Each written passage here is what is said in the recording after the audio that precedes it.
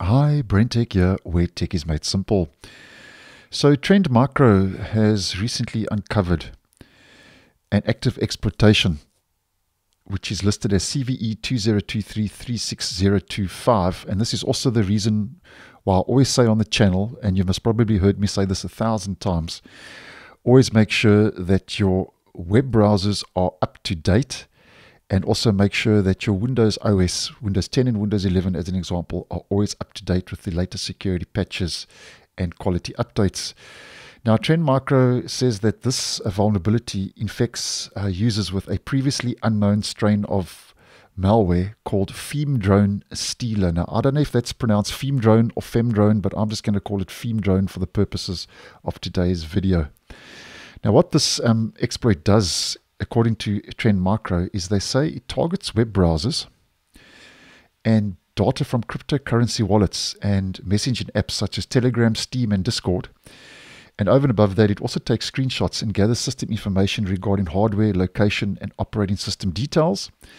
And then after this, um, once the data has been harvested, it's then sent to the attackers via Telegram or their command and control server. So basically, their cloud server.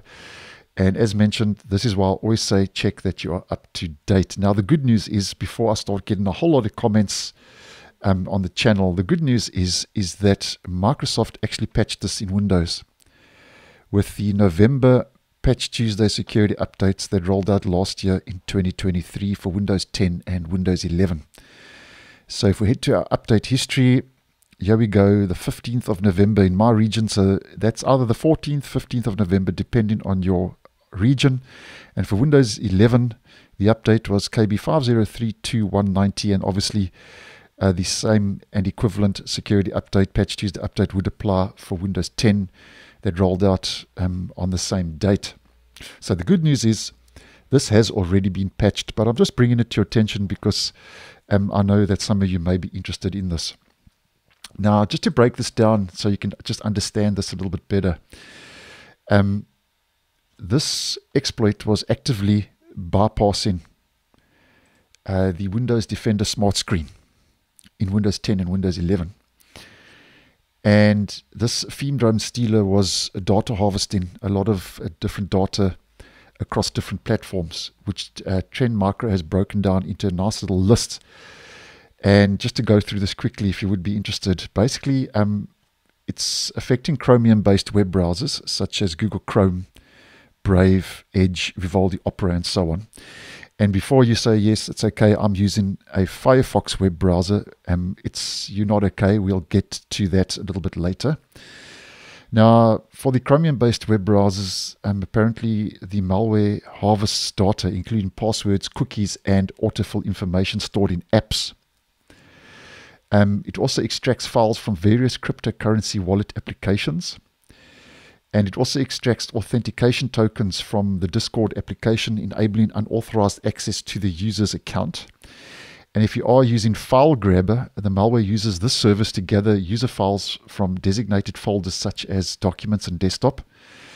Um, Phemedrone also captures FTP connection details and credentials from FileZilla.